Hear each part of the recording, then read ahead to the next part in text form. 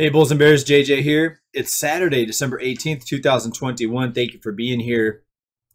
Uh, let's talk about this horrific scene from this home in Florida. In my opinion, it's horrific. We're going to talk about the details. I'm going to actually show you a video, but also stick around. We've got a housing market update. What's happening with prices, inventory, uh, sales. We're going to talk about all that, so stay tuned. But first, yes, this is a horrific scene. And uh, People and some other news outlets put this out a few days ago. Florida couple finds 80,000 bees in their home's shower wall amid bathroom renovation. Take a look at these photos. And actually, we're going to play a video that the homeowner took.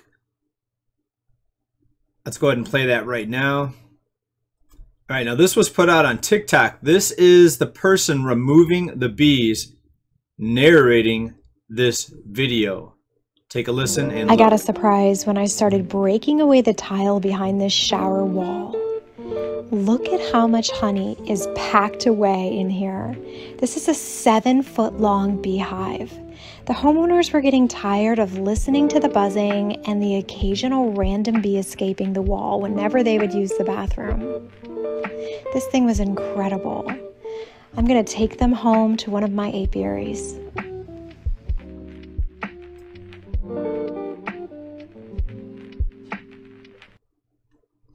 Okay, nice, right? But let's take a look at some of the magnitude of this infestation.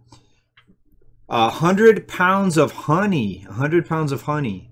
They had to pay this person eight hundred dollars to get the bees out of the walls, and that included the patch up and the re-finishing of the wall. But eight hundred or um, hundred pounds of honey. What's honey now? Is about three dollars? Three dollars a pound. Oh, let's see. Kirkland Signature Wildflower Honey, $15 for three pounds. Okay, right about $3 a pound for the basic kind, you know, not the not the uh, wild or the raw honey, just the basic, you know, $3 a pound. We'll go with that. And with the 100 pounds of honey, the $300 worth of honey, and actually even more expensive because it's organic, right? It's in the it's in the hive still. So even more than three dollars a pound. You get the picture. It's still it's raw. It's in the comb. So if I was if this was my home and I was trying to get somebody to fix it, I would try to do it myself. I would put on one of those uh, suits. I'd, I'd have to find the price of the suit and all that. You know, I might try to do it myself, depending on the cost. But I would try to negotiate and say, hey, free honey, 100 pounds of free honey. All you have to do is come get it out of the wall. And then I would have did the rest of the work myself as far as putting up the wall again. Uh, but that's a pretty costly repair, and that just goes to show you that being a homeowner isn't always glamorous and glorious. There's a lot of unexpected expenses that people uh, happen, just like the story right here. But now let's get into the housing market news, the housing market update here. See, look at that. I turned a negative story, something really awful for this homeowner, and turned it into a positive. 100 pounds of free honey. No more calling me doom and gloom. All right, let's get into the housing market news, people. And this one is a pretty big one. Mortgage applications for refinances down 41% over a year ago. That's a big drop, 41%. Um, rates are rising. They're not in danger zone territory yet, but let's take a look at a chart here, mortgage rates. And we're taking a look right now at a 30-year fixed rate, and we see that we're not higher than we've been and this is a um, one-year chart. We're still not higher than we were back at the beginning of the year, April, in that range. But if the typical 30-year mortgage rate gets above, at or above 3.3 and a quarter around there and stays above there for at least a few months, you're going to start seeing a big, big drop off in the housing market. Now, will the money printers let that happen? I don't think so, but anything's possible. Uh, maybe they want to kind of like they're talking about raising interest rates next year. Maybe they want to ease into this and allow mortgage rates to rise. It's controlled through their bond purchases, through their securities and asset purchases. So the Fed can control which way these rates go. We can't predict the future. We don't um, try to do that because the Fed, they can change direction at any moment. But based on what we're seeing now, uh, rates are uh, rising. And what's going to happen, please let me know down below. Will they let rates rise? Will we see more than three and a quarter percent, which is the danger zone. And I say danger zone because look already at just this uptick that we've seen here over the past six months, and refinancers are already down 41%. Uh, here's what I think is going to happen with the housing market. I think they're going to let rates rise somewhat, see what happens.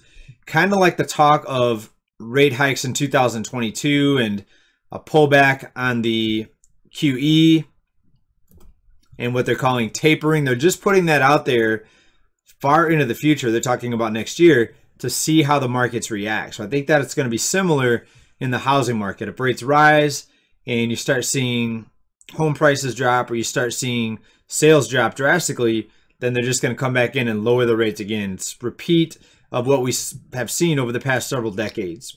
But we get closer and closer to zero. So at some point, people are saying that they're no longer going to be able to control this. Well, they still have some tricks up their sleeve to keep this whole bubble propped up for longer. Believe me on that one. Uh, next, let's talk about months of supply. As rates are rising slightly, are we seeing more homes come on the market and stay in the market? Well, we saw an increase, especially over the past six months. Uh, then it dropped. Now we're up at around a little over six months supply. Now this is out of FRED. This is the Federal Reserve Economic Data. That's the uh, acronym FRED there. And this may be different than other statistics that you may look up, but we can still see a trend and we see that we're close to where we were at the beginning of the health crisis. Now, we all know what happened, or at least you should know what happened was there was a mad rush to buy homes, people moving out of the cities, more people working from home, um, more people just in fear of the health crisis wanted to uh, move to a different place, maybe somewhere out in the country. But what happened since then, we're going to talk about homeownership next, is the mad rush subsided and we're seeing inventory creep up. So if we go higher than what we saw here in late 2018, that's going to be a telling sign for the future and the direction of the housing market. So we're going to keep an eye on it. But let's talk about home ownership and the home ownership rate here and we look at a five-year chart here. This was updated just uh, last month. And we see the inverse of what we see with inventory. Inventory dropped because demand increased so much. So we saw the home ownership rate increase as more people bought homes, especially people um, that rushed out during this time right here when the health crisis first came out. Uh, but look what's happened since then. Home, home ownership has declined since then meaning a lot of those people that went out and bought ended up selling and a lot of times they sold to an investor so when investors buy properties it's not counted as home ownership when they say home ownership they're talking about a owner occupied home so owner occupied home ownership is declining that tells you more investors are buying more people buying second homes third homes uh, more mega corporations are coming in and buying lots of homes so when that happens the home ownership rate decreases. Now, what could happen? It's anybody's guess, uh, but typically what happens, um, companies that come in and invest in homes, uh, institutions, a lot of times they're also playing with debt. Um, so consumers, a lot of us get a 30 year mortgage, but also you have a lot of these investment firms that are leveraged and some of them highly leveraged. Now, what's going to happen if we start seeing turbulence in the housing market? Well, a repeat of 2008. Uh, the big hedge funds, the institutions, the banks, they will continue to get unlimited uh, resources, unlimited rescue programs, while the U.S. average homeowner, the average consumer, the average working person uh, doesn't get the bailout. So I could continue to urge caution in your decision if you're going to buy a home. Look at what happened with the uh, the bee expense with what we saw at the beginning.